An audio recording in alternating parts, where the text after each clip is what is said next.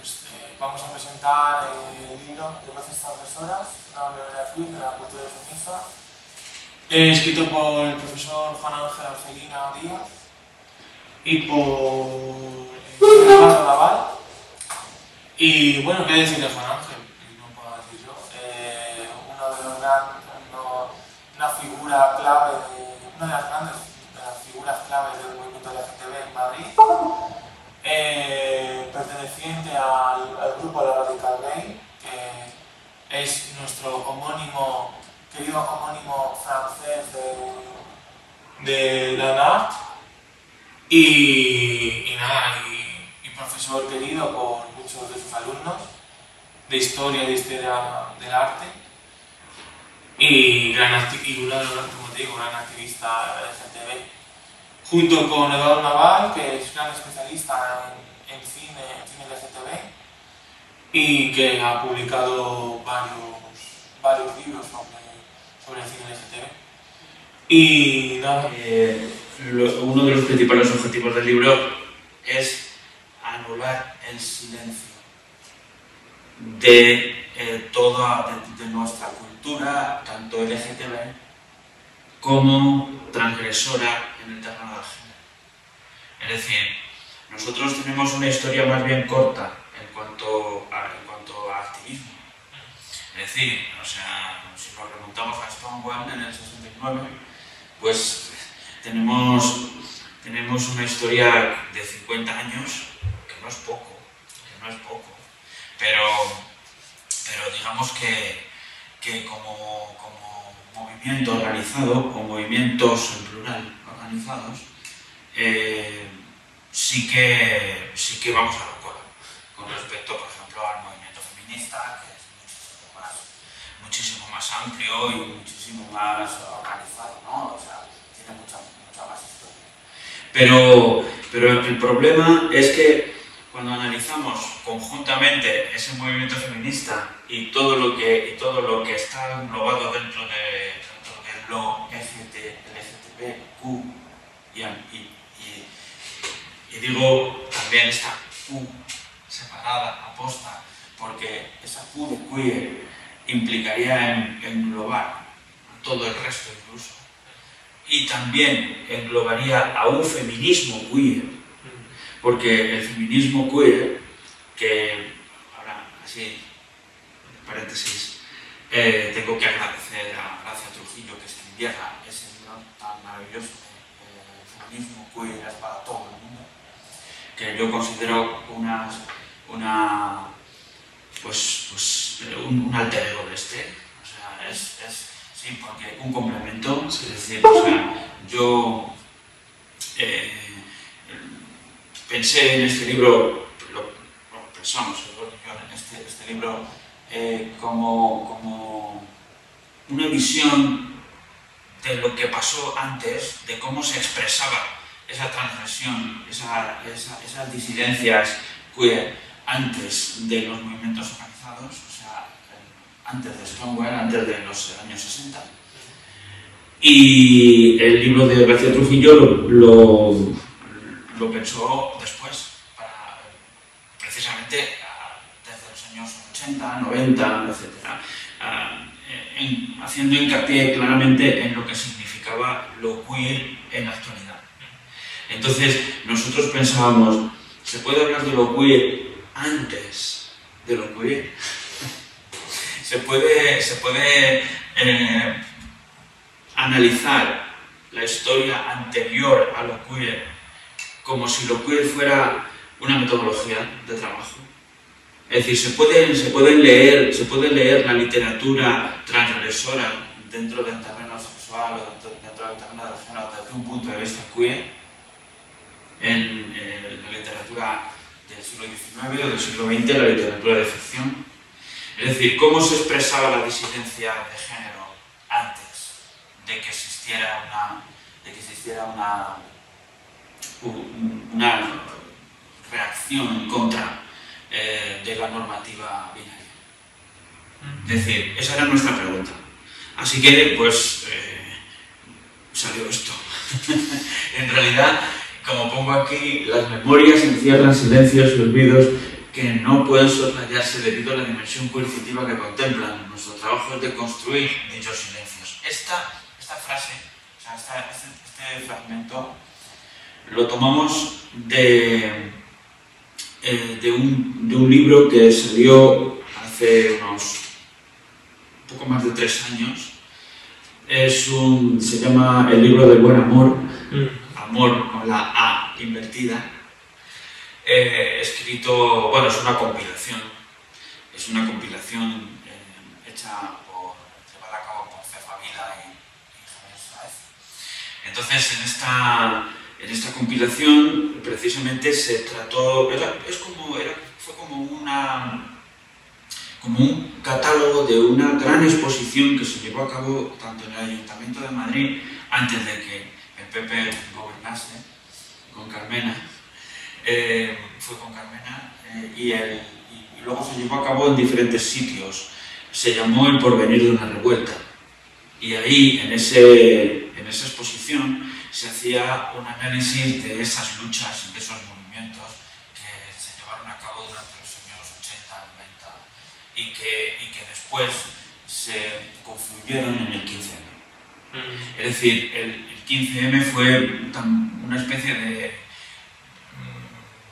de fin de, fin de un puente. Es decir, o sea, nosotros, la radical gay, como tú has dicho antes, la radical gay se, disuelve en 1998 y, y hasta que y, hasta el 15M, hasta que, hasta que aparecieron los otros movimientos radicales parecidos gay, como por ejemplo el movimiento transmanicaboyo del sol, por ejemplo, pues eh, hasta, que, hasta que aparecieron tuvieron, tuvieron que pasar, pues eso, 20 años. Entonces es como un, puente, ¿no? Se cerró el paréntesis. Eh, hay un puente entre, entre la radical de los 90 y la Asamblea Transmérica por ejemplo. Y, y, cuando, y cuando yo me encontré con, con la gente de la Asamblea Transmérica entonces eh, ahí ya se englobaba todo. Es decir, nosotros en la Radical Gay se hablaba de lo gay, se hablaba de, todavía no, no existían todas esas siglas, ¿no? Lo LGTBQ no, no, no existía. Es decir, eso existió después. Pero, eh, pero claro, nos organizábamos como, como movimientos de liberación gay, como movimientos claramente homosexuales. Pero, pero claro, el conflicto estaba también en el cuestionamiento de la identidad. Y saber precisamente de qué estábamos hablando cuando hablábamos de identidad. Cualquier em, antropólogo sabe que la identidad es una creación cultural. Em, tendremos que encontrar las claves de la construcción de esa identidad. Y, eso ha sido, esa ha sido la labor de otros muchos escritores. Boswell en la, Edad Media, eh, Foucault en su historia de la sexualidad, es decir, hablar. Entonces, quizás no habría que hablar tanto de, la orientación sexual o, del sexo en sí mismo, que el sexo también es otra construcción cultural, sino, sino de, cómo se, de cómo se manipula el deseo, o de cómo se construye también el deseo. porque nosotros nos miramos a nuestro propio ombligo constantemente y, decimos, bueno, pues nuestro, nuestro, nuestro concepto de deseo, nuestra manera de desear, tiene que ser la manera de desear de todo el mundo. Y no es así. Sabemos perfectamente que todo eso es muy amplio, muy diverso y que, en cuanto nos salimos de nuestra cultura, pues las maneras de, desear, las maneras de ver el cuerpo, las maneras de, de, entender la sexualidad cambiar. Absolutamente. Lo que pasa es que, eh, y claro, eso es uno, uno, de los objetivos de este libro, era ver cómo la sociedad occidental, la sociedad que, surge con, con, el capitalismo industrial y que se expande con el colonialismo, impone sus reglas de juego a, otra, a todas las culturas del mundo. Y entonces eh, llega a construirse una globalización cultural también, además de económica. Y esa globalización cultural hace posible que, pensemos, que nos hagan creer que nuestra manera de actuar sexualmente, nuestra manera de entender los roles sexuales, nuestra, nuestra manera de entender las divisiones en cuanto, en cuanto a las orientaciones sexuales, en cuanto a, ya en cuanto a los deseos, pues de repente pues, las tenga que aceptar todas las culturas que hemos impuesto, a las que hemos impuesto nuestro, nuestro canon. Eh, claro, ese es, ese es, el, ese es el problema. yo, yo me estoy acordando, me río porque estoy acordándome de ejemplos curiosos. Por ejemplo, em, yo he viajado varias veces por África. Y, claro, evidentemente África ha sido un continente muy marcado por la colonización. Muy marcado, muy herido por la colonización. Eh, herido y asesinado por la colonización. Entonces, pues claro, em, evidentemente eh, no solo es no solo África, ¿eh? pero bueno, yo lo digo porque es lo que más he. La, la, idea de la relación con el hombre blanco viene dada por el miedo, viene dada también por la necesidad, viene dada, pues, es, es la, el eterno problema siempre de la dependencia económica. Y claro, el turismo occidental, ahora mismo, pues claro, se, se alimenta precisamente de la, de la debilidad económica de toda esa gente. Yo recuerdo, recuerdo una, una novela preciosa de un escritor eh, afroamericano, Baldwin, eh, titulada el, el, cuarto de Giovanni, que trata precisamente de la, de la relación imposible entre un turista norteamericano y un chico italiano, y un chico vamos, pobre, italiano. Eh, Baldwin sabía perfectamente, entendía perfectamente lo que, cuál era la naturaleza de esa, de esa relación, porque él había sufrido en sus carnes, ¿no? Porque, claro, como negro, eh, en, Estados Unidos había sufrido el racismo y como homosexual había sufrido también la, la, el rechazo de su propia comunidad.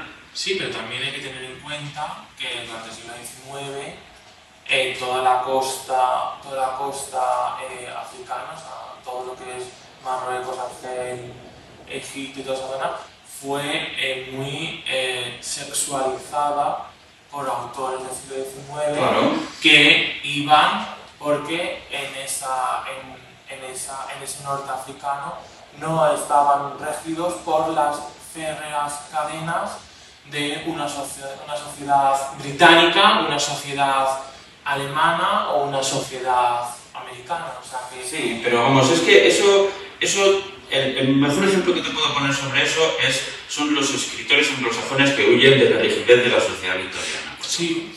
O bien eh, las, eh, aquellos, o, bien, por ejemplo, Rambo. El libro empieza precisamente con la primera novela que eh, una mujer escribió sobre, acerca de un cuerpo, acerca de un ser monstruoso al que todo el mundo tenía miedo y que acabaron, acabaron por lincharlo y destruirlo, que es Frankenstein. No sé si, no sé si lo ha leído, pero pues, pues Frankenstein, la mayor parte de la gente ha visto la película. Pero hay muy poca gente que ha, leído el libro, como casi todo. Pero, pero lo que me interesa es precisamente que no solo esta mujer, Mary Shelley, cuando escribe, rompe con la idea de que la creatividad solo es masculina y que la mujer también puede escribir y crear, sino también crea un personaje que es producto de la tecnología, no es producto del ser humano, no, nace de mujer, nace de un experimento científico. Y ese experimento científico tiene mucho que enseñar al resto de los seres humanos. Es decir, es como si hubiera nacido una nueva civilización, como si hubiera nacido una nueva cultura. Y, por eso mismo, Frankenstein, para nosotros, es algo, es como, como, como una parte de nuestra nueva mitología. Pero el problema es la transgresión. El libro se titula Voces transgresoras, porque trata de los, todos los escritores y escritoras que se rebelaron contra su papel, que se rebelaron contra su rol entonces he empezado con esta, em, empecé con Mary Shelley, empecé con Frankenstein, porque Frankenstein es el, ejemplo más interesante. Pero al crear Frankenstein lo que hizo fue algo más que feminismo. Lo que hizo fue mostrarnos eh, cuáles eran los límites de lo que. Los, los límites de nuestra propia identidad. ¿Qué es? ¿Quién es Frankenstein? ¿Qué es? O sea, de eso se trata. ¿Es un ser humano? ¿Es un monstruo? ¿Es una, es una máquina? ¿qué es? Entonces, a partir de ahí es lo que yo como yo me cuestiono, precisamente por eso, por eso he puesto en el libro que es una memoria queer, porque, porque lo queer en inglés significa lo monstruoso, aquello, que, aquello de lo que tenemos miedo, aquello que no, que no es fácilmente reconocible y que, y que como Frankenstein termina en la hoguera. o sea, como, como antes la Inquisición, cuando mandaba a los, a los que a los, a los herejes a, la hoguera para quemarlos. Quiere decir, el, problema es la transgresión se hace por parte de aquellos que, que, no es que no quieran integrarse en el modelo social, sino que no pueden hacerlo. Ese es el problema. Eh, también, ahora mismo, una de las cosas que me he cuestionado es el, problema de qué pasa cuando, cuando, cuando los que antes transgredían ahora están satisfechos. ahí, hay un problema, ahí hay un problema. Es decir, em, por ejemplo, antes te he hablado de James Baldwin, ¿vale? que escribió sus libros en los años 50 y 60 era negro y, homosexual. Y por lo tanto sufrió una doble discriminación. La, la, discriminación de su raza y la discriminación de su sexo. Entonces el problema es, hoy los, los afroamericanos en Estados Unidos han conseguido muchos derechos a pesar de que el racismo continúa y con mucha violencia en muchos sitios de Estados Unidos. Pero normalmente los, los afroamericanos en, Estados Unidos ya muchos se han integrado muy bien en el sistema. Ahora el movimiento LGTB, al movimiento LGTB le pasa exactamente, exactamente lo mismo. Quiero decir que se han ido, se han ido consiguiendo derechos, se han ido alcanzando metas, han ido, se han ido haciendo nuevas, nuevas, nuevos avances en cuanto, en cuanto al nivel de vida de muchas de las, muchas de las personas que antes eran perseguidas.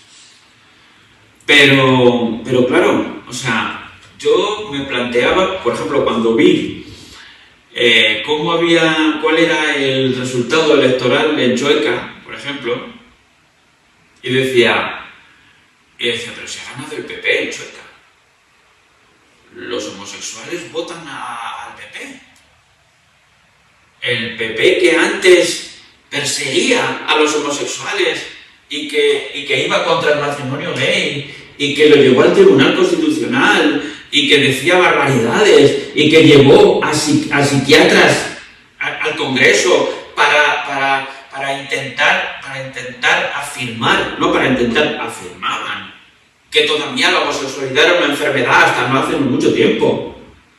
Ahora, esa comunidad gay en Chota vota a esa gente. Yo flipaba. Pero claro, decía, ¿por qué? Es decir, ¿qué es lo que ha pasado?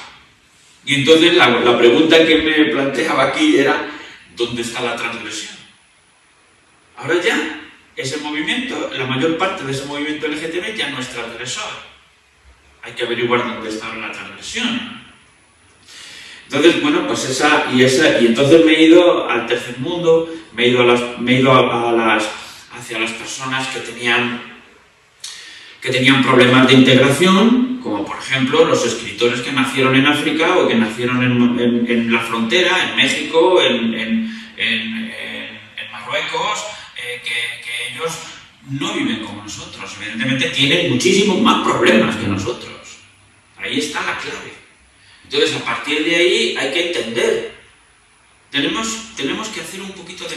Tenemos que tener un poquito de empatía con esa gente. Y empatía quiere decir que, debemos.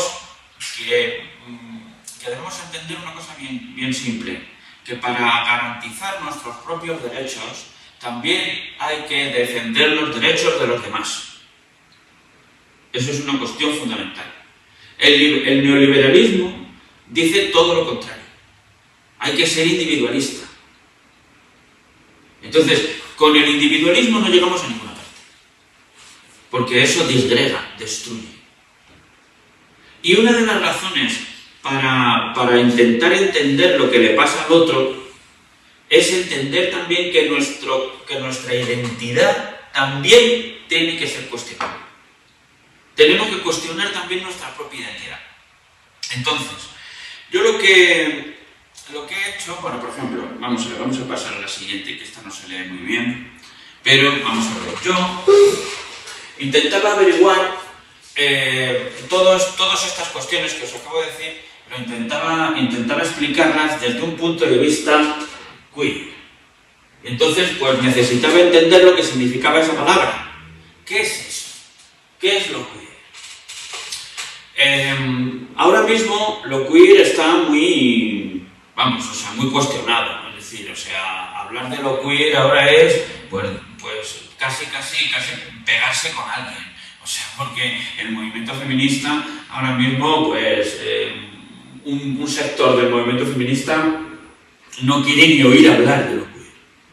Pero vamos, para mí, lo queer era una disidencia contra el dominio de la heterosexualidad. ¿Qué quiere decir esto? Pues que durante toda la vida hemos creído que la heterosexualidad era lo normal. Hemos pensado, nos han hecho pensar en términos binarios. Heterosexualidad, homosexualidad, hombre, mujer, blanco, negro. No había intermedios, no había grises, no había gamas de grises. Pero hoy, hoy, precisamente encontramos algo interesante. A medida que entramos dentro del universo trans, nos estamos dando cuenta de que hay otras muchas variables. Otras muchas variables. Y, es, y, claro, y, y hemos aceptado que la biología, que en la biología tampoco hay binarismos. Ese es el problema que, tampoco debemos entender, vamos, o sea, es el, es el, es el eh, mira, antes, antes este tipo hablaba de un ejemplo africano, se me fue la olla y ahora, y ahora te lo voy a decir, ¿no? te, lo, voy a, te lo voy a contar, porque también viene al pelo. En uno de mis viajes a África yo viajaba con un amigo, yo viajaba con un amigo que, que bueno, pues él, él, él era cerril en, en, esto que se decía antes, acerca del de 10% de la población es gay. ¿Vale? Entonces, pues nosotros íbamos a África a ver a un amigo mío que vivía en Burkina Faso, y entonces, pues, eh, este hombre pues pensaba, bueno, si vamos a Burkina Faso, el 10% de los habitantes de Burkina Faso tienen que ser gay. entonces, bueno, pues llegamos allí Llegamos allí y el hombre se, comportaba de la misma manera que se comportaba aquí. Y quería ligar con gente allí de la misma manera que se liga aquí. Y, yo le decía, a ver, Rami, tío, o sea, no, no, esto no es así. Quiero decir, no, no te tienes que comportar allí de la misma manera que te comportas aquí. No, porque, porque la gente piensa de otra manera, es distinta, tiene otras costumbres, otra manera de pensar, incluso sexualmente, no tienen nada que ver. Es decir, y si se comporta con el turista, con el blanco, con el hombre blanco europeo o norteamericano, si se comportan como tú quieres que, que se comporten, es por agradarte. Es porque tú tienes dinero y ellos no. Y por lo tanto, tú eres el que domina y lleva la batuta. Y por lo tanto, el, el, africano, el asiático, el sudamericano se tiene que adaptar a la gente que tiene el dinero. Ahí está la clave. Entonces, claro, tú vas con tus ideas acerca de los binarismos sexuales y los, las historias de que el 100%, la historia de no sé cuánto, tal, tal, entonces pues nada, todo tiene que ser así. Entonces llega el pobre africano y de repente se acerca y, tiene que adaptarse.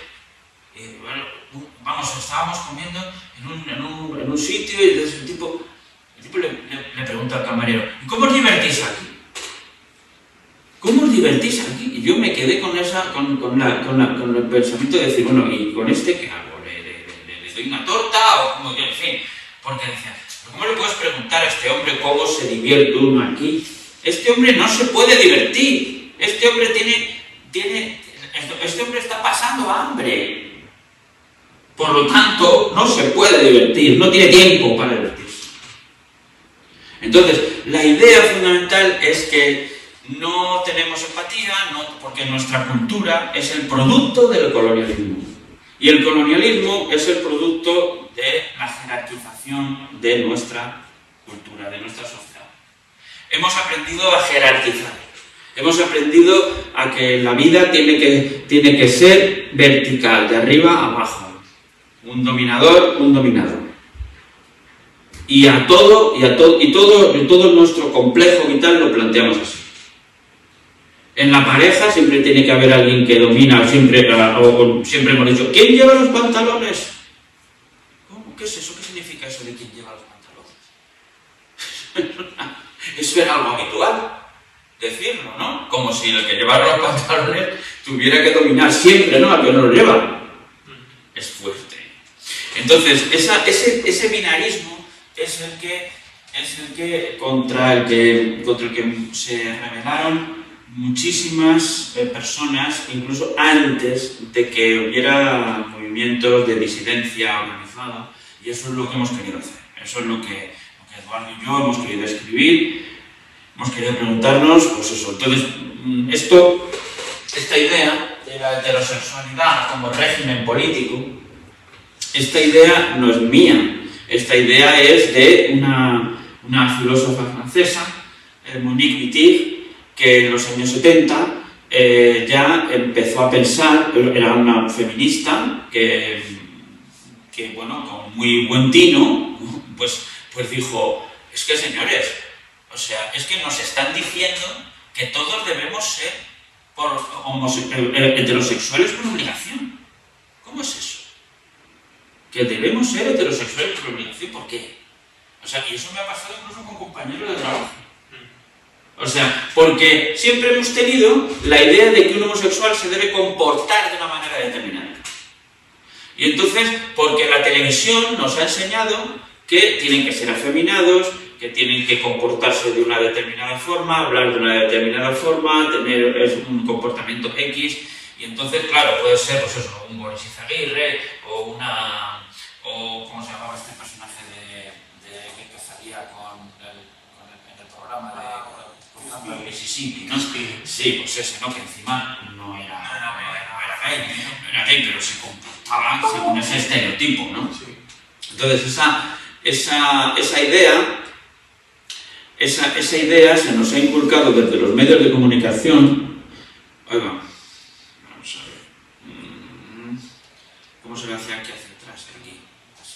Eh, se nos ha inculcado a través de los medios de comunicación. Entonces, eh, esto, esto nos ha distorsionado nuestra visión de, de nuestros semejantes. ¿no? Es así.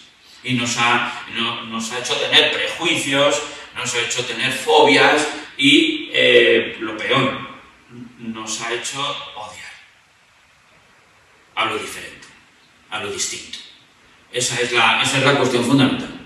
Entonces, eh, lo, primero es muy, muy curioso que precisamente haya sido una mujer feminista, lesbiana, la que haya, Monique la que, la que fue censura y estigmatiza todo lo que no conlleve un futuro reproductivo. Y aquí tenemos la realidad. Esta es la clave de todo. La condena de toda sexualidad que no sea reproductiva. Aquí tenemos que acusar a la Iglesia, a la religión, que es la que nos ha inculcado la mayor parte de estas ideas.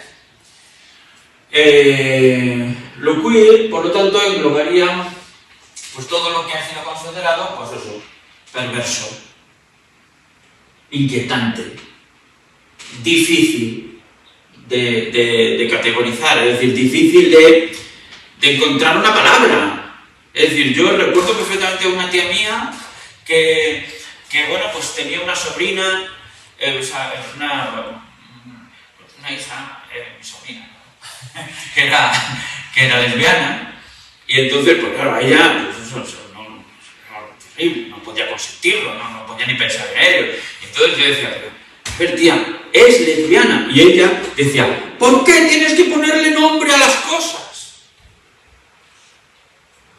A ver, ¿por qué tenemos que poner etiquetas? ¿Por qué? Ella, ella, porque ella estaba muy contenta sin tener que llamar a su hija lesbiana. Una, si no existe la palabra, no existe la realidad. Ahí está la clave de todo.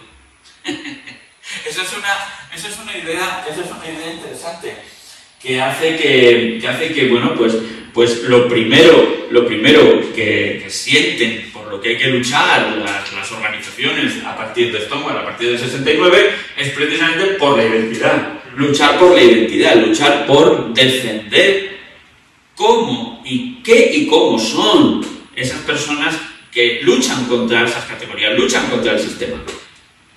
Entonces, pues esas, ese tipo de gente, ese, ese, tipo de gente, claro, en esa fase, que en la que estaba yo también, en esa fase, claro, porque, porque de repente nosotros nos veíamos diferentes. Entonces, claro, esa diferencia se apreciaba en una época como la mía, en los años 70, era jugarse la vida. Era jugarse la vida directamente. O sea, porque, porque había una ley de vamos y maleantes que, que hacía posible que se llevase a todo aquello que no estaba bien visto y se encerrara en la cárcel. Antes había incluso campos de concentración que estuvieron bien documentados en... Hay un documental precioso de Javier Larrauri. Eh, no me acuerdo cómo se titula el documental ahora mismo. Eh, Testigos de un tiempo maldito. Es el documental testigos de un tiempo maldito. Y ahí es donde se ve, donde él analiza dónde estaban y qué pasaba en esos campos de concentración. Por ejemplo, encontró uno en Canarias, donde ahora había un hotel. Y de repente dices, joder, qué bien, ¿no? Ahora van los turistas a tomar sol, a divertirse y tal, en el mismo lugar donde se torturaba a la gente. Es fuerte, es duro. Pero bueno, entonces, el problema, el problema fundamental es denunciar precisamente ese, ese, código binario de la vida, ¿no? ese, ese, ese, binarismo que es el que pongo al final. ¿no? Hay que hacer una nueva lectura.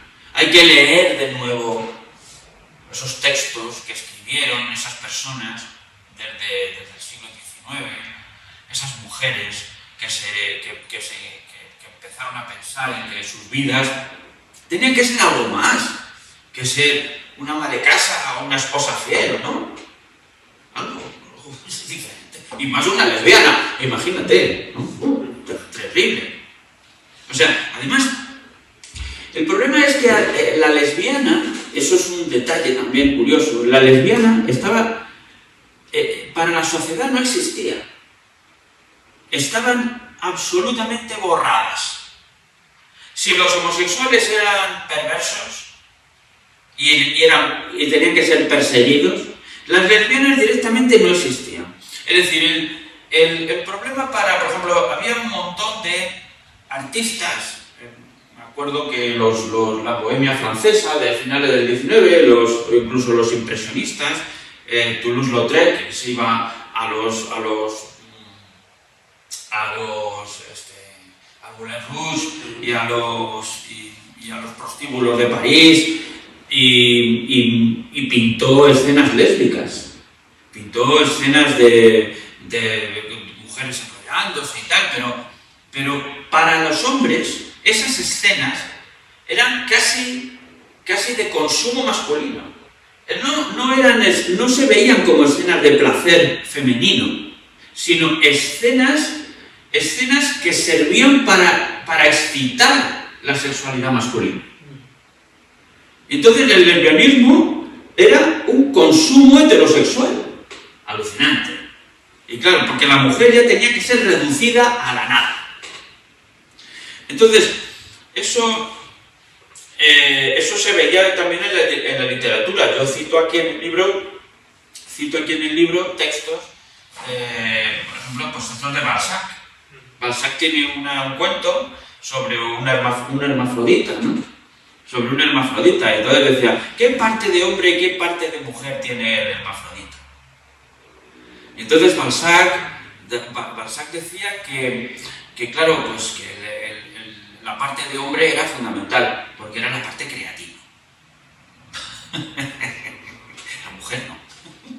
Sí, para, para, ser, para ser realmente, para existir realmente en la vida, tiene que haber una parte masculina superior. Y, por ejemplo, eh, el propio Flaubert, ¿no? cuando escribía a, ¿Cómo se llamaba esta mujer que tenía, se había puesto el nombre, un nombre masculino? francesa. Eh, George Sand, efectivamente. Cuando escribe a George Sand y le dice, y le dice, tú, del tercer sexo. O sea, a ver, también, pero en plan casi despectivo. O sea, claro, porque ¿cómo, ¿cómo, una mujer va a poder escribir como un hombre? Imposible, imposible. Entonces, claro, muchas mujeres no pudieron ni publicar, ni publicar. Pero, pero bueno, eso se solucionó con una literatura fantástica increíble que, ha venido mm, repitiéndose eh, hasta hoy. Es decir, hoy hay, hay una tradición, por lo menos en, el mundo anglosajón hay una tradición de literatura fantástica femenina impresionante que yo analizo en el libro muy, bastante bien. O sea, con, por ejemplo, K. o, o esta otra eh, la, de, la de Blue Child de parentesco. Eh, Octavia. Octavia efectivamente. Octavia Butler, que, que hace, poco se, estrenó una serie basada en esta obra, Parentesco. Eh, una, una, novela fantástica acerca, de, acerca del pasado esclavista visto por una mujer, haciendo una ciencia ficción, una, una ficción acerca de una mujer que desde el presente viaja al pasado a una plantación de esclavos eh, e intenta entender qué, es, significó su propio pasado. En fin, eh, aquí tenemos a Mary Shelley. Y es un monstruo. bueno, esto es un, cuadro de Thursday eh, que refleja precisamente pues, una, pesadilla. Es que he querido ponerlo aquí, no ha salido el texto, esto tiene un texto, pero no ha salido porque, porque eh, los diferentes ordenadores hacen cuando, cuando, uno hace un, trabajo en un ordenador y luego lo pasa a otro, pues te, te descabalga todo. Pero, pero bueno, he querido reflejar precisamente ese, ese mundo onírico y y de terror, que, que, es de donde salió Frankenstein, precisamente en una noche de tormenta. en la villa de Odati, con, con, con, el escritor Rob Byron y el médico Polidori. Bueno, y aquí tenemos tres, tres eh, eh, secuelas de Frankenstein. Mm, bueno, dos y media dos y media, porque dos son novelas, eh, una es una novela de Janet Winterson, Frankenstein, el último gran trabajo sobre Frankenstein, que, en donde, donde eh, la autora eh, Janet Winterson lleva a Frankenstein al futuro y lo convierte en una muñeca hinchable. y, y, este, Ahmed Sadawi, es un escritor iraquí que lleva a Frankenstein a, a, Bagdad durante la guerra, durante la guerra y la ocupación americana. Y Frankenstein surge de, de, la, de, la recomposición de diversas piezas, de diversas, diversas partes de, cuerpos eh, que, un trapero va recogiendo por las calles de Bagdad, eh, de, muertos, de muertos eh, que, produjo, que produjo los bombardeos, que produjeron los bombardeos norteamericanos. Entonces, para su, porque él lo que quiere hacer con esos cuerpos es componer un nuevo cuerpo y enterrarlo como un símbolo de todos los asesinados en la guerra. pero para su sorpresa, por un azar del destino, este cuerpo cobra vida. Y al final se convierte en un justiciero. Es para, para, que comprendáis más o menos cómo ha influido la figura de Frankenstein en, el futuro de la literatura y ahora mismo, ¿no? Cómo se sigue todavía utilizando esa, esa imagen de Frankenstein como un cuerpo no normativo también. ¿no?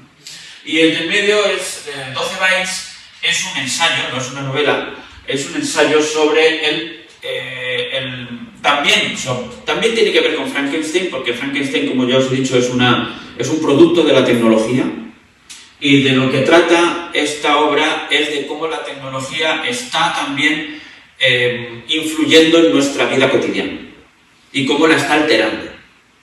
Cómo está alterando la inteligencia artificial.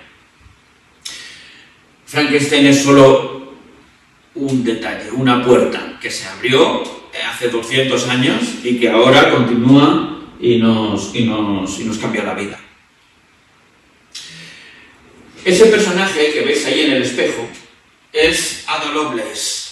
Ada Lovelace es la hija de Lord Byron, el escritor inglés, que eh, es importante porque ella, a pesar de que casi nadie la conocía hasta hace bien poco, ¿verdad? casi nadie hablaba de ella, Ada Lovelace fue la inventora del código binario, que luego se usó, que luego se usó en informática. ¿Vale? Entonces, eh, Janet Winterson utiliza la figura de Ada Lovelace para, para, entender un poco cómo ha funcionado el código binario hasta hoy en la tecnología y, también ha servido para, para proyectar el código binario de nuestro lenguaje en la tecnología. Es decir, por ejemplo, eh, un ejemplo de esto es los, mm, los aparatos de reconocimiento facial. Eh, los aparatos de reconocimiento facial se tienen, tienen eh, para hacer, para hacer su programación se ha tenido en cuenta, por ejemplo, pues todo el problema de, racial, todo el problema racial acerca de, por ejemplo, los, delincuentes en Estados Unidos, por ejemplo, cuando, cuando, se, cuando se busca un delincuente, ya los programas de reconocimiento facial ya te señalan a un negro directamente como, como como una persona que tiene más tanto por ciento de cometer un delito. Entonces, la tecnología ha reproducido el código racista que todos teníamos en la cabeza. Por lo tanto, eh, esa, tecnología, esa tecnología es también un peligro, un peligro que hay que reconocer. Bueno, eh, aquí esto es un, un autómata. Eh, no, se puede leer el texto, desgraciadamente, pero mm, los autómatas han sido un poco el reflejo de, nuestra, de nuestros miedos. En cierto modo, Frankenstein también era un autómata. De carne y hueso, no de hecho de hierros y tornillos, pero también un autómata. Entonces, el, el autómata es un poco nuestro espejo, porque ha, ha sido creado por nosotros es el reflejo de nuestros miedos también. Y hemos reflejado también nuestros deseos en ellos. Eh, el espacio de la mujer. Aquí, aunque no se pueda leer, el, problema, el problema fundamental es que he seleccionado dos, dos cuadros muy diferentes que tienen que ver con dos posiciones de la mujer bastante opuestas. Una es la mujer burguesa, cerrada en casa leyendo. La otra es una, una, chica muy joven, trabajadora del siglo XIX, una niña obrera, que no tiene tiempo para leer, precisamente. precisamente, pero lo que sí, lo que sí está claro, hay algo que une a las dos, y es su dependencia en una sociedad capitalista, industrial, burguesa, que las ata a ambas. ¿Vale? Entonces, eh, el problema es el control, siempre ha sido el mismo, el, control del cuerpo.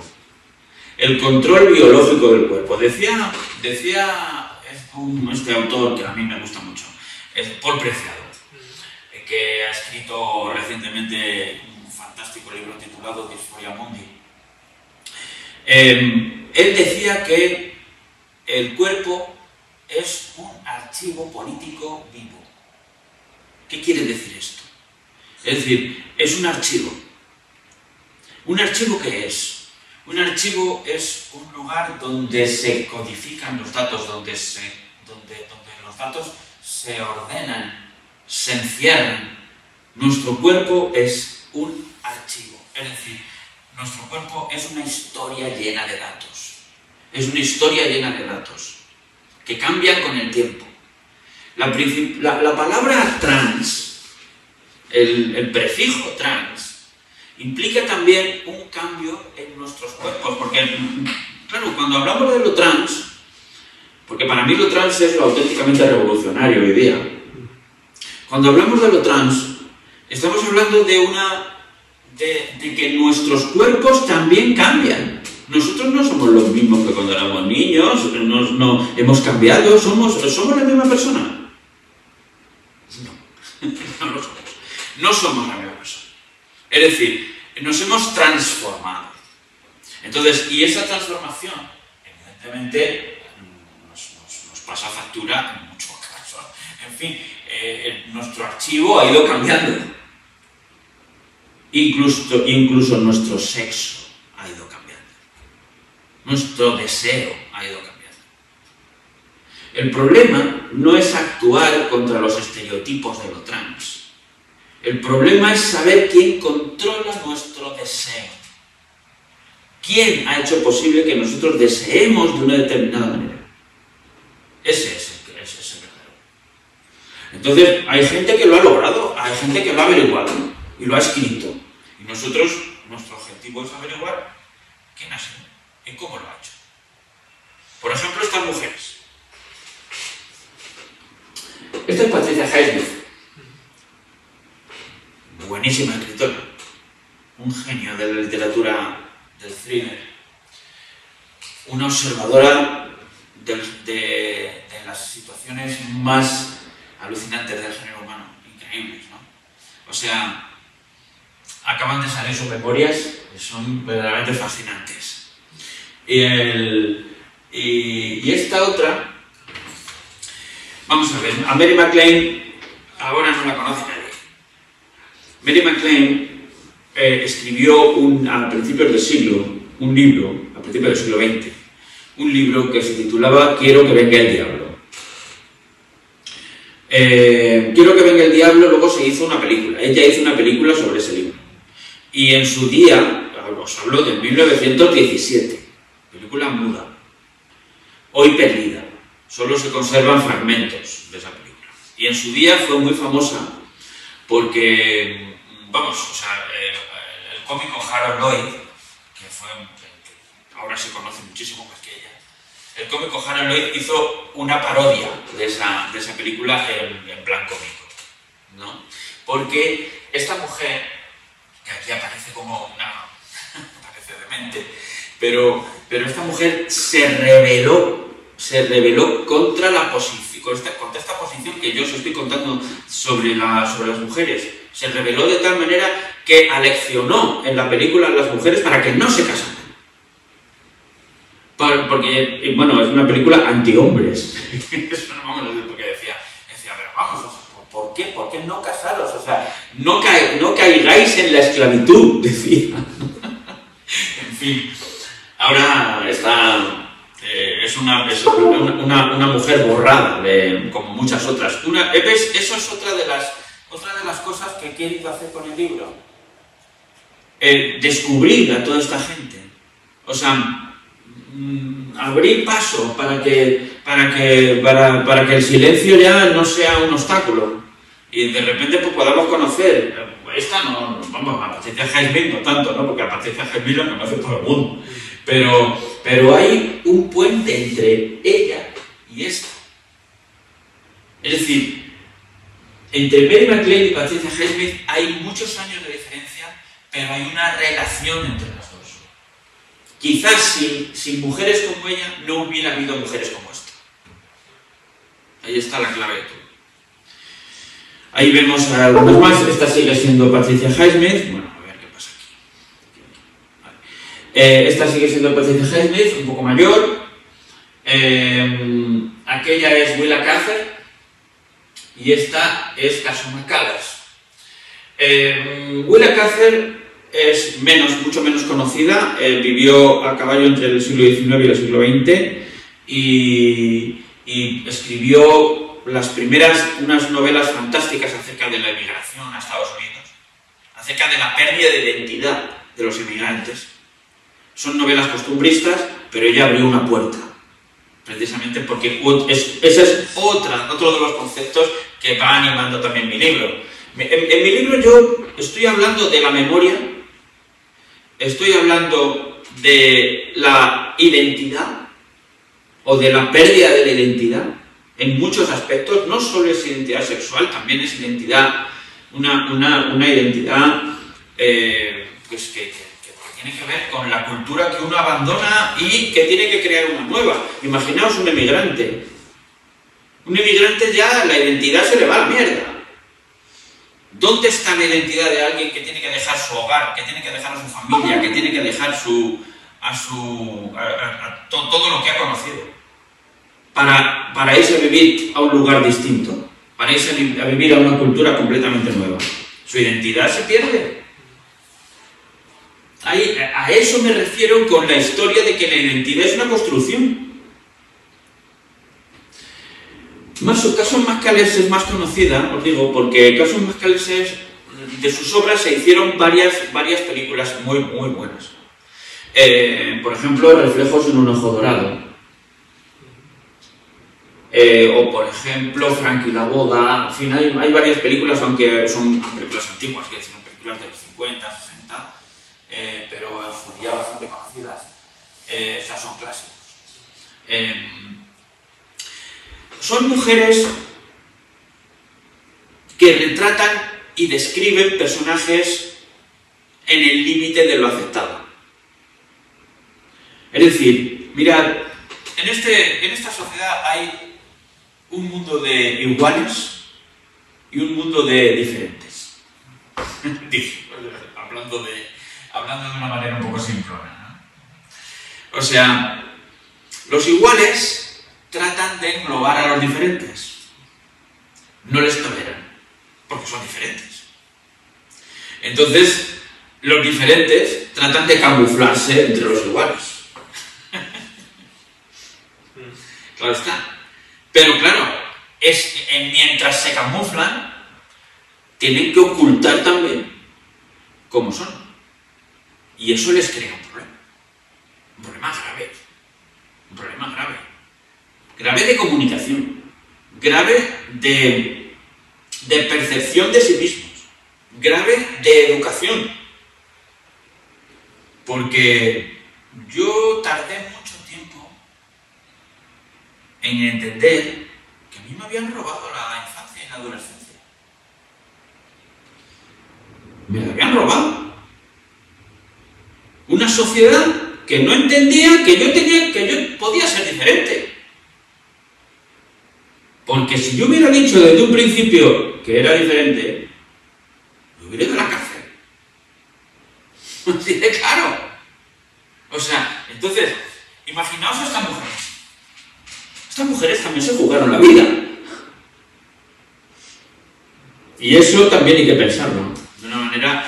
Y bueno, luego y entre los hombres igual. Y entre los hombres igual. Ahí tenéis a Oscar Wilde. También dos épocas muy distintas. Oscar Wilde en el siglo XIX, finales del XIX, época victoriana, famoso escritor que de repente la sociedad se entera de que es homosexual y le mandan a la cárcel sobrevivió dos o tres años más desde que le liberaron de la cárcel. La situación fue tal, o sea, la, sufrió tanto en la cárcel que no pudo Este señor es Marlowe, eh, un escritor del siglo XVI, contemporáneo de Shakespeare. Dicen que, algunas malas lenguas dicen que fue el escritor realmente de muchas de las obras de Shakespeare, pero eh, de todas es, eh, es el primero el primer escritor abiertamente homosexual, que de repente decide que la homosexualidad tiene, tiene que ir con su identidad gay por delante. Y, escribió una de las obras que, bueno, que caracterizan más al movimiento homosexual dentro de la literatura, que es Eduardo II. Eduardo II es una obra de teatro donde transforma al, personaje de Eduardo, Eduardo II, es el rey, un rey homosexual que, tiene a su amante al lado y que, que por ello es castigado. Es por ello castigado. Entonces, eh, igual que este señor, este señor al final murió, este señor murió asesinado, quizá por encargo. Es decir, es, eh, pero igual que os he dicho de las mujeres, os digo de esto. A lo mejor sin este personaje, este no hubiera existido. ¿Vale? Hay un puente entre los dos. Son periodos distintos, pero la transgresión de uno anima la transgresión del otro. Es, hay una línea de conexión entre los dos. Una, una conexión de provocación. La provocación es lo que hace posible la existencia misma de estos personajes. Provocan y por lo tanto existen. Eso es importante. Y bueno, aquí hay varias películas que se... Estas son varias películas que se hicieron a, partir de sus obras. Ahí tenemos el retrato de Dorian Gray, de Oscar Wilde, eh, eh, que, es, vamos, se, hicieron, se han hecho un montón de versiones de, de la obra. Eh, el sirviente, de Joseph Losey, que es una película que es de 1961, me parece, y que, y que también trata de una relación extraña entre, entre, una, entre eh, el dueño de una casa con su criado, en donde ya no se sabe muy bien quién es quién. La relación, la relación es ambigua, ambivalente. O sea, es un problema de dominación también en el que el deseo juega un papel importante. Y, el y la tercera película más reciente del año de los 80 es una, es una de, me parece que fue, no sé, la primera película de Stephen Frears, Ábrete de orejas, que es la biografía de este personaje de aquí, eh, Es que es, muy gracioso porque yo estuve, mi primer destino como profesor fue en Soria. Yo estuve en Soria trabajando unos años y, y, recuerdo que me metí en un bar. Eh, pleno centro de Soria y, los, dueños del bar estaban, tenían una tele donde estaban poniendo esta película. Y entonces dije, anda, anda, míralos. dije, aquí, aquí pasa algo. Estas, estos, los dueños del bar no son, o sea, son raritos. y entonces, pues claro, evidentemente, era una pareja gay, pero no lo podían decir. En aquel momento, en fin, en fin, una ciudad tan pequeña, una ciudad de 30.000 habitantes, casi un pueblo, donde todo el mundo es señalado con el dedo y, se, es como son como los pueblos, ¿no? Donde todo el mundo se conoce, en fin. Bueno, pues donde, claro, había que, había que ir por la... Por la eh, los fines de semana habría que, había que viajar a Madrid, a cada vez en cuando. en fin, ábrete de orejas. Eh, bueno, y otros escritores, como por ejemplo estos aquí, estos son este, M. Forster y Henry James. Es decir, eh, Henry James es mucho más conocido porque las novelas de Henry James son muy famosas. La más famosa de todas es Otra Vuelta de Tuerca, que, que se llevó al cine con mucho éxito ya en los años finales de los 50, primeros de los 60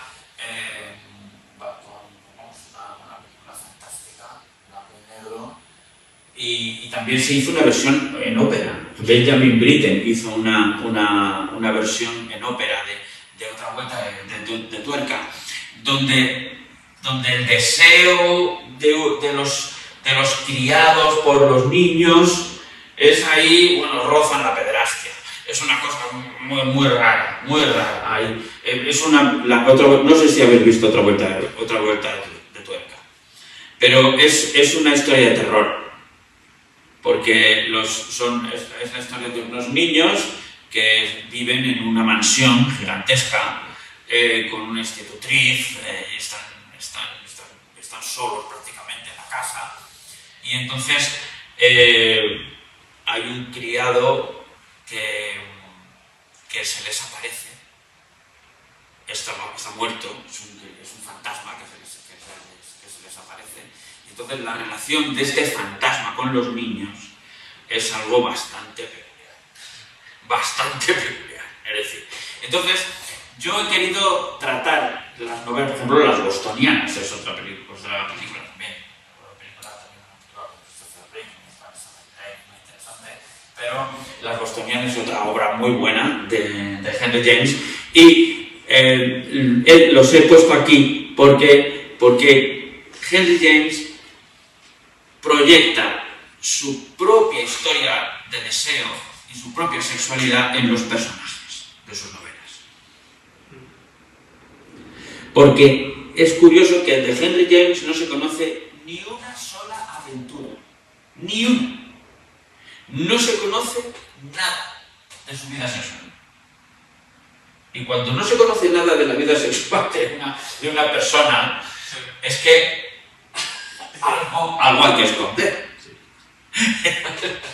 y con Foster pasa exactamente lo mismo. Mm, hay una novela suya que después se hizo una película famosa que es Maurice, que Maurice eh, se publicó justo en el año 1971. Que casi mm, es una novela póstuma. O sea, se publicó justo cuando él murió. Él no, no la quiso publicar en vida. Eso ha pasado muchas veces.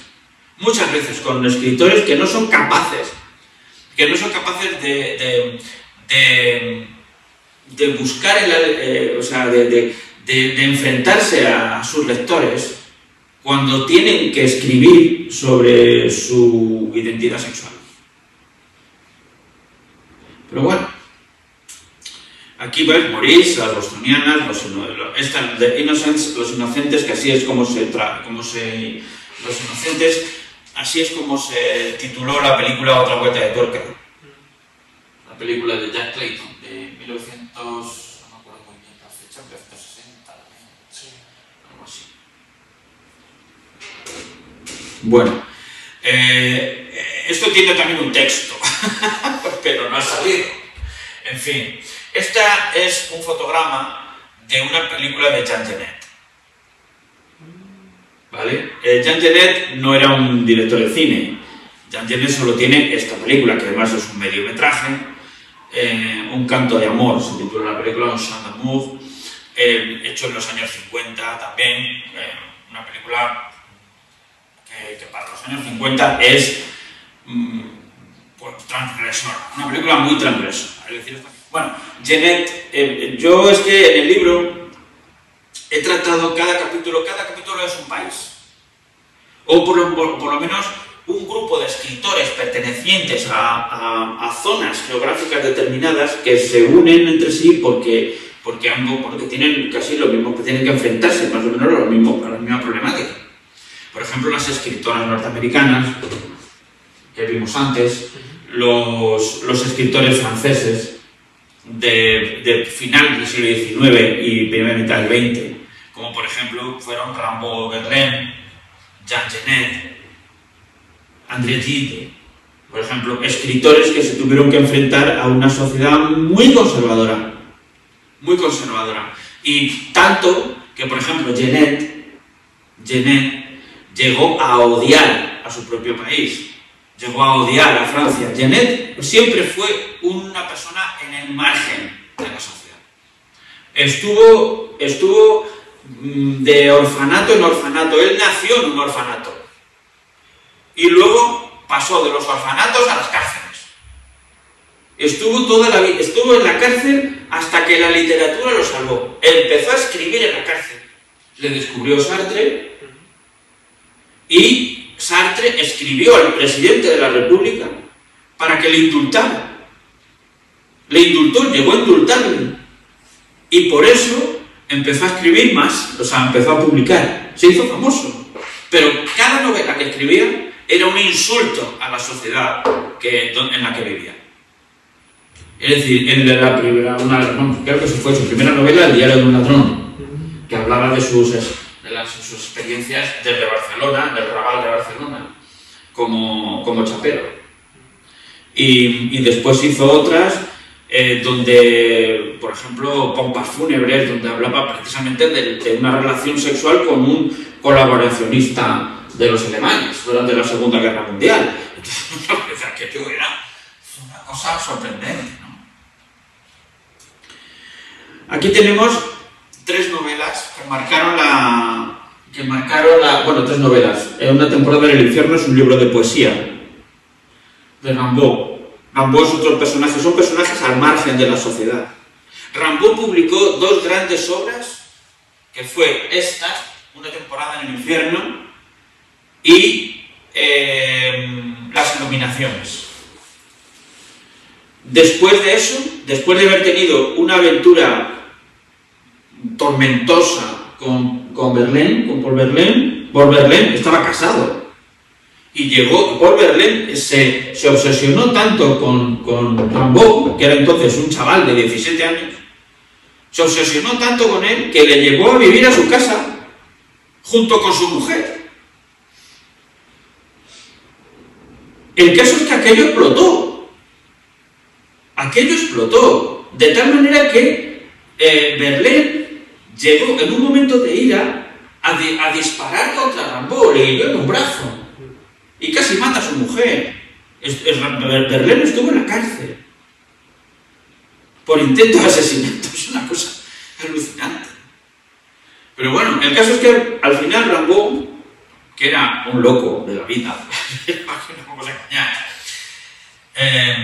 no eh, se marchó, publicó una temporada en el infierno después de, después de, de decirle a Berlín que era un cobarde, que, era, que él lo que quería, o sea, porque, porque lo que Rambo quería realmente era huir de la sociedad, salirse de los márgenes.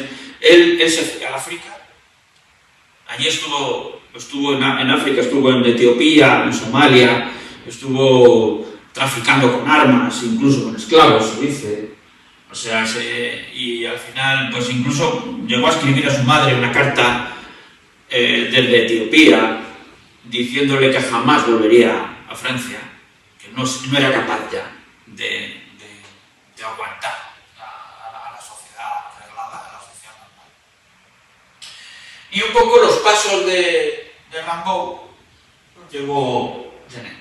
Es decir, también vemos otro puente, ¿no? Otro puente entre Rambo y tiene, bueno, pasando por Chile, pero Chile es más, eh, digamos que, eh, reglado.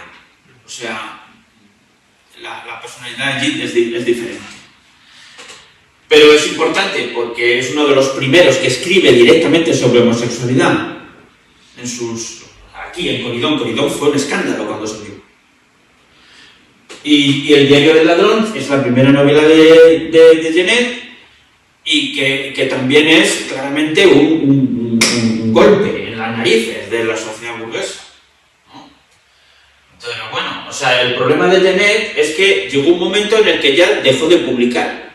Dijo, ya no publico más. Fue un poco como, un poco como Rambo. Dijo, hasta aquí he llegado. No quiero saber nada más del mundo. Y entonces se decía se decía que, eh, que estaba en un hotel y, el, y, en el momento en el que, en el, que el, gerente del hotel ya le reconocía por su nombre y le, y le devolvía el saludo con su nombre, ya se iba del hotel. no quería ni que le... No, no, no, era antisocial. Pero vamos.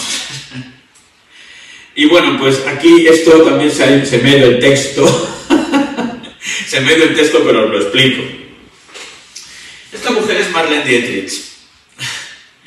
Marlene Dietrich. Eh, y tenía que ilustrar, y este es el tambor de hojalata, una, una novela de Gunter Grass, que luego se llevó al cine por Volker London en los años 70.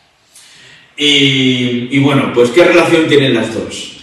Este, este, eh, Alemania es un caso muy peculiar dentro de la transgresión, porque Alemania fue el primer país, eso es interesantísimo, el primer país donde se abrió un centro, un centro de estudios sobre la homosexualidad, donde se hicieron las primeras estadísticas sobre los homosexuales, donde se preguntaba a los obreros en Berlín qué, qué, qué tipo de sexualidad tenían, donde se hicieron la, las primeras películas mudas en las que se hablaba de homosexualidad. Es decir, el instituto llevado a cabo por el, por el médico Magnus Hirschfeld. El Instituto para la Ciencia Sexual se llamó, que después los nazis arrasaron y quemaron todos sus libros. Es decir, eso es valentía. Fundamentalmente, porque en Alemania cuando llegamos a los años 30, estamos hablando de enfrentarnos ya a los nazis. Y los nazis no se andaban con chiquitas, ni con juegos. Pero hay un... Y bueno, Marlene Dietrich es un icono. Marlene Dietrich es una figura emblemática dentro, de, dentro del mundo homosexual de aquella, época. Y hizo películas eh, maravillosas, ¿no? Y es junto con Greta Garbo, de que en aquella época pues, fueron los iconos más, más así deslumbrantes. Eh, y bueno, el tambor de hojalata es una imagen de lo que significó la... es una metáfora de la oposición al nazismo.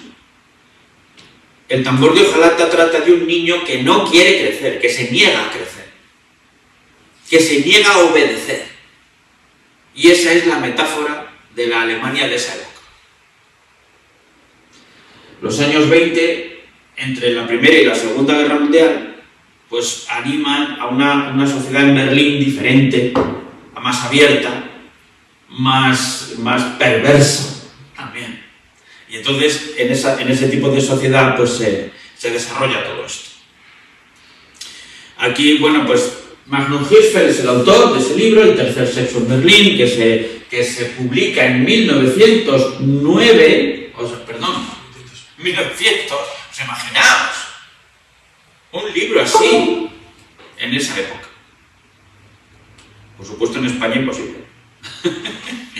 y luego, pues eh, la Hannah Arendt es, es una película reciente del 2012 Hannah Arendt es una filósofa alemana, eh, discípula de Heidegger, que, escribió un, tiene muchos, tiene escritos fantásticos acerca de lo que significó el totalitarismo, o lo que, lo que significó también, pues eso, una, sociedad dirigida, una sociedad autoritaria, ¿no? Eh, pero sobre todo, yo la he puesto aquí en esta película, con este cartel, porque hizo, escribió un libro interesantísimo sobre un juicio que se llevó a cabo en Jerusalén en 1961 contra uno de los trabajadores, Eichmann, contra uno, de los trabajadores que se dedicaba a, eh, a, seleccionar a aquellos que tenían, aquellas personas que tenían que ir a los campos de concentración el Mossad, de los servicios secretos israelíes, lo secuestraron en, en, Argentina, que era donde vivía en 1960, y lo llevaron a Jerusalén para hacer un juicio. Entonces, un periódico norteamericano encargó a Hannah Arendt que, que hiciese una, un reportaje sobre ese juicio. Y de ahí salió su concepto de la banalidad del mal. Para ella, El problema es que todos podemos ser gentes de ese tipo. Cada uno de nosotros, o sea, esa persona, Eichmann, no era diferente de, tú o de, mí o de, o de cualquiera. Era una persona normal y corriente. Cualquier persona, decía Hannah podía cometer crímenes, podía ser un animal, podía ser simplemente por el hecho, como ella decía, de la obediencia de vida. Seguía órdenes. Entonces la cuestión fundamental, y por eso le he puesto aquí, es ¿quiénes somos? ¿Quiénes, ¿Quiénes nos hemos sentido? O sea, ¿o qué nos han hecho ser? Ese es el problema fundamental. A lo mejor tenemos, que, tenemos que abandonar el verbo ser por el verbo estar. No somos, estamos. O nos hacemos. Porque el problema fundamental es, si ese señor podía, podía cometer todos esos crímenes y estar tan campante porque para él los crímenes eran otros que le obligaban, otros que le, decían que tenía que hacer, él simplemente obedecía. ¿No nos ha pasado muchas veces eso cuando vamos a la administración o vamos a algún sitio y de repente alguien, alguien te dice desde una ventanilla, es que es la ley, es que usted tiene que cumplir esto, es que yo solo cumplo órdenes, es que a mí me mandan. No no hemos aprendido a revelarnos. Ahí está la clave de todo. Que nos han hecho ser obedientes, muy obedientes. Y la tercera película, que es de Fassbinder, también un, director alemán muy, muy bueno. Fassbinder eh, hizo esta, esta fue su última película, que es una, es una adaptación de una de las novelas de Genet también muy subidita de tono. Bueno, y aquí nos vamos a este personaje, eh, que no sé si reconocéis, es Pasolini. Pasolini, Pierpaolo Pasolini, y, es, y esto me sirve para ilustrar el caso italiano. Italia fue uno de los paraísos sexuales del siglo XIX y XX. Los ingleses y los alemanes iban a Italia y se, a, usar a los, a los chicos y a las niñas italianas porque eran pobres. O sea, era un paraíso sexual, igual que ahora mismo lo puede ser Tailandia, Cuba, las Antillas, o la gente no se va a Santo Domingo, no se va a la República Dominicana, no se va vamos, o sea, hay un montón de países del tercer mundo donde podemos ver perfectamente a, millonarios y a otros no tanto. Yo lo he visto en persona. En, en las playas de Cuba. Gente ya con una edad, con niñas de 12 años. O sea, eso es turismo sexual. Entonces, el problema, Italia fue uno de los primeros países. Y hay una película, hay una película que ilustra muy bien eso desde nuestro punto de vista, que es La muerte en Venecia. No sé si la habéis visto. Muerte en Venecia, que es una novela también de Thomas Mann, eh, que habla precisamente de, de un personaje alemán, culto, músico, el von se llama, que eh, va a Venecia en una, época en la que, en la que se producirá una epidemia de cólera. Y se enamora de un chavalín en la playa, bueno, en el hotel, antes incluso. Sí, sí, porque en parte, en parte se sublima, ¿no? Se sublima. Pero esa sublimación, ¿qué esconde? Un deseo. El Visconti también era Claro, efectivamente, porque, porque, y el propio Thomas Mann, es decir, o sea, en el fondo todo se esconde en esa represión. Y la manera es, y, de repente la manera de expresar metafóricamente esa represión es mediante la literatura o el cine. Ahí está la clave. Y con este hombre también. Pero lo que pasa es que Pasolini, el caso Pasolini fue más trágico, mucho más trágico. Porque, porque claro, Pasolini no se dejó intimidar.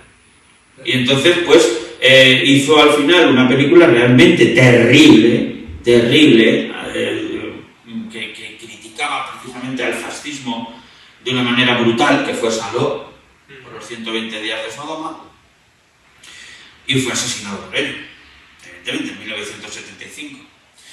Anteriormente fue expulsado del Partido Comunista Italiano por, eh, por pederastia. Supuestamente. Supuestamente, porque fue... Exacto, exacto, sí. Entonces, él se, se defendió, por supuesto, él se, él se, defendió, pero eso nunca se aclaró. El caso es que eh, él, él, pero él siguió siendo comunista. Es decir, él fue apartado del partido, pero eh, él siguió en RQR con su ideología y eh, echando en cara al Partido Comunista su, su mojigatería. Y, no solo su mojigatería, sino también, sino también su, su, Vamos, es que, es que el Partido Comunista Italiano eh, también jugaba, jugaba a, a, ser políticamente correcto. Es decir, él no, no, no, no podía ir contra las normas morales de su tiempo porque pensaba que si iba, que si aceptaba la homosexualidad, iba a perder votos. Es como, yo me, eh, yo pongo a este hombre en relación con un director español, Eloy de la Iglesia, sí, también, que Eloy de la Iglesia, que tuvo, que tuvo también un, una relación muy parecida aquí en España durante la transición. Cuando, cuando se acercaba pues, a esos chavalillos, e hizo, por ejemplo, me acuerdo pues, de la película El Diputado, con José Sacristán, que hizo, eh, pues esa, esa de, describió precisamente ese mundo turbio de la ultraderecha, que, donde, donde, donde, donde usa, que usaba precisamente a, estos, a, estos, a este lumpen, este bajo proletariado, eh, como carne de cañón como carne de cañón, igual que en Italia, igual que en Italia, es decir, la ultraderecha se sirvió del lumpen, ¿eh? que es siempre un... El lumpen es siempre ese ejército de reserva, ¿no? que decía Marx, ese ejército de reserva que al final va contra los intereses del proletariado, contra los intereses de la clase obrera y para librarse precisamente de gentes como él. Porque él era ya se había convertido en un peligro. Él nos veía como, que, como inocentes, como gente venía del pueblo, gente noble. Bueno, y que, como ver, a ver, es que, es que en parte lo eran, ¿eh? A ver, es que en parte lo eran. Quiero decir, o sea, y te lo digo, y te lo digo yo, que yo fui uno de ellos. O sea, mis padres eran emigrantes que llegaron desde, desde el sur puesto una mano delante y otra detrás a vivir en chabolas en, la, en, en, en Vallecas.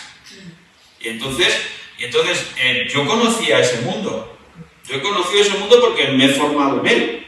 Y entonces es verdad que en la ultraderecha se buscaba precisamente en ese mundillo porque era, eh, eh, había los dos extremos estaban los, desideolo los desideologizados, aquellos que, bueno, pues podían servir a cualquier causa y eran, llegaron a ser incluso confidentes de la policía y, también, traficantes, porque en general siempre ha habido una relación entre el tráfico de drogas y la represión policial.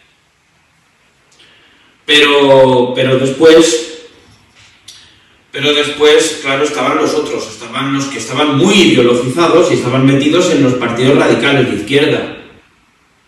Y los había y muchos. Ahora ya eso se ha perdido. Es decir, pues ya ese sotoproletariato en plan italiano ya apenas existe. No hay ideología. No Claro, apenas existe. Ahora ya, porque es otro mundo. El mundo de Pasolini es un mundo totalmente distinto. Es, el mundo de Rocco y sus hermanos, de Mamma Roma, de todas esas películas que hizo en los primeros 60, ¿no? Eh, después ya vendrían las películas más raras, más extrañas, ¿no? Como Teorema y otras.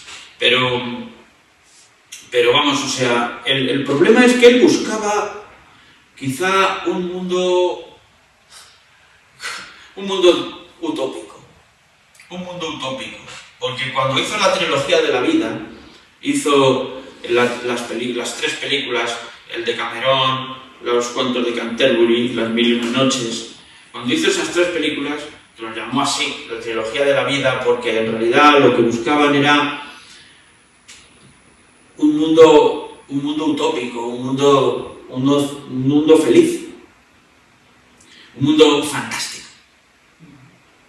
Un mundo fantástico. Pero él se da cuenta, él se da cuenta que, que ese mundo fantástico no existe. O sea, cuando, hizo, cuando hace Salo, quiere hacer algo deliberadamente feo. Deli- Deliberadamente horrible. Y lo dijo, lo escribió. Yo tengo aquí en el libro, tengo, tengo sus textos de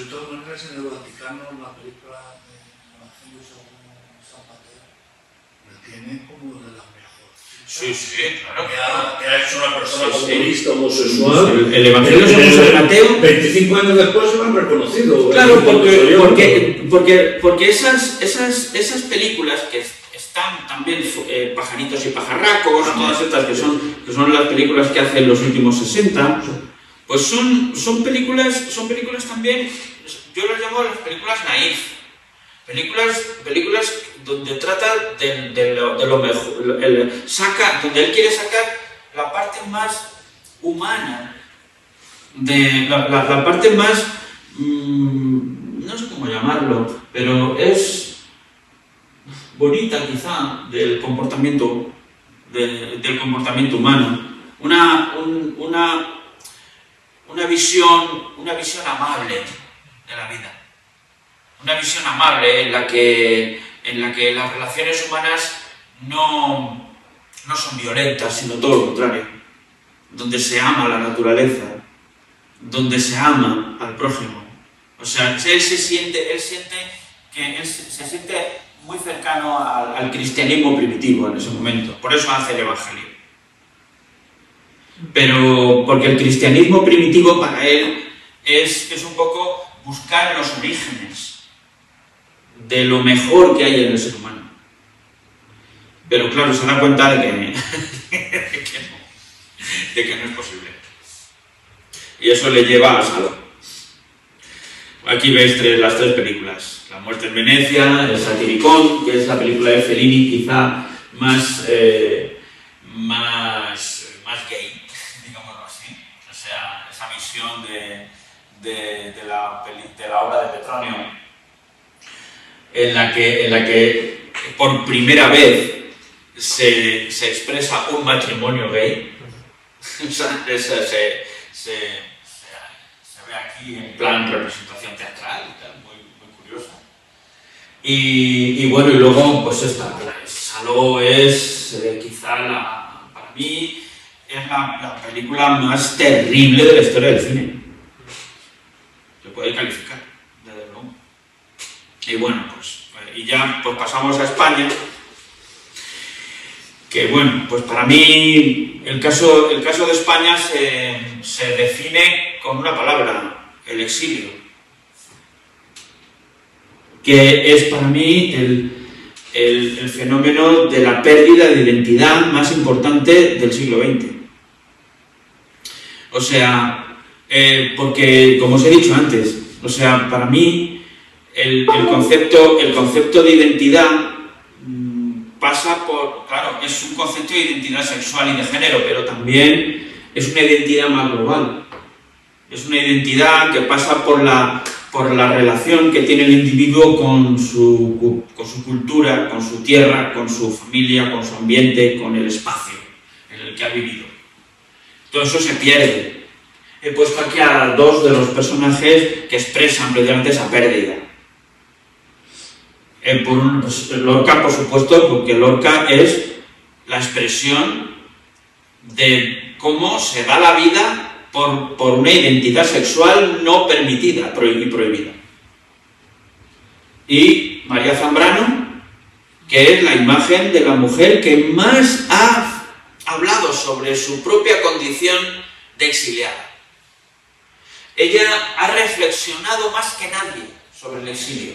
Y de hecho, después de salir de España, no quiso volver.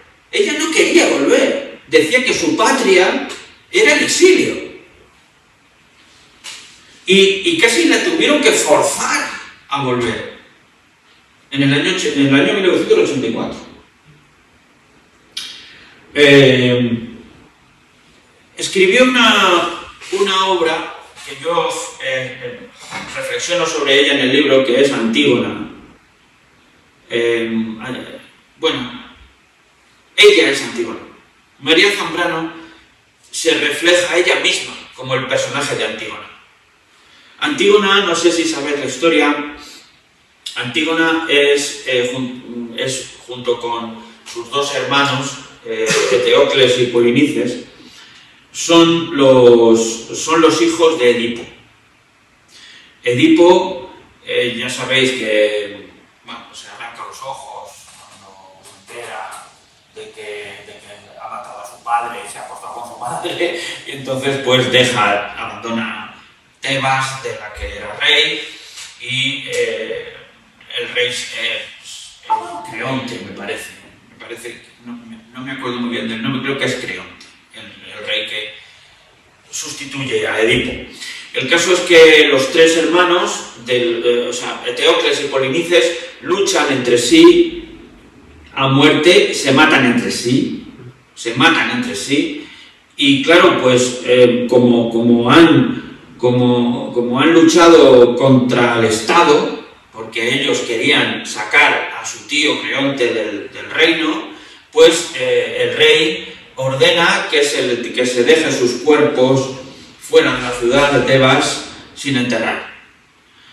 Antígona, su hermana, no puede permitir esto y eh, infringe la ley y entierra a sus dos hermanos. Como castigo, el rey ordena que se la entierre viva junto con sus hermanos. Y entonces, esta historia, María Zambrano la, la hace propia. Se identifica con el personaje de Antígona. Como personaje que infringe las normas, que es capaz de oponerse a, una ley, a una, orden que le parece injusta, y es capaz de dar su vida por ello. Y se autoinmola, se entierra junto con sus hermanos en vida. Y entonces para ella su exilio es precisamente esa inmolación. Ella se entierra, se exilia y para ella el exilio es el entierro de Antígona. Y sus hermanos muertos sus hermanos muertos son sus compatriotas que han, peleado en la guerra civil. O sea, es, lleva el mito hasta sus últimas consecuencias. Y por eso es, para mí es uno de los, vamos, refleja perfectamente esta historia. Eh, la guerra civil y la dictadura pues dejaron fuera a muchos, a muchos escritores muchos personajes importantísimos. Por eso uno de mis objetivos con el libro era precisamente recordarles